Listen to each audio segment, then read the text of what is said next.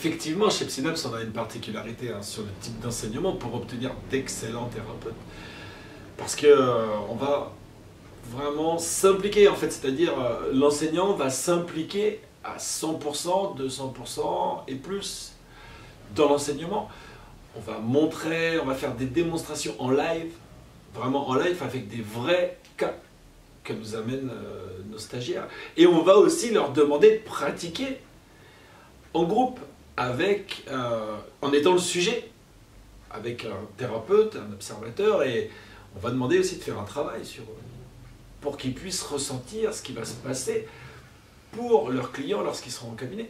C'est très important.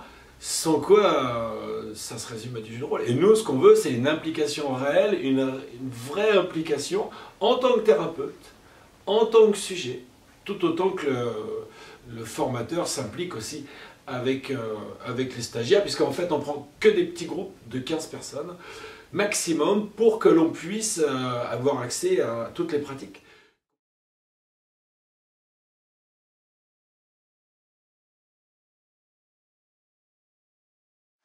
C'est pour ça qu'on travaille en petits groupes de 15 personnes, parce qu'à ce moment-là, on peut vraiment peaufiner le travail, on peut travailler le détail de chacune des pratiques de chaque personne, et puis aussi, en plus euh, de, l'hypnose ou de la PNL, c'est-à-dire que chacun va pouvoir mettre euh, son style, ça soit la PNL exactement précisément, mais avec son style pour qu'elle soit adaptée à, chacun, à chaque thérapeute. C'est ça qui est important aussi.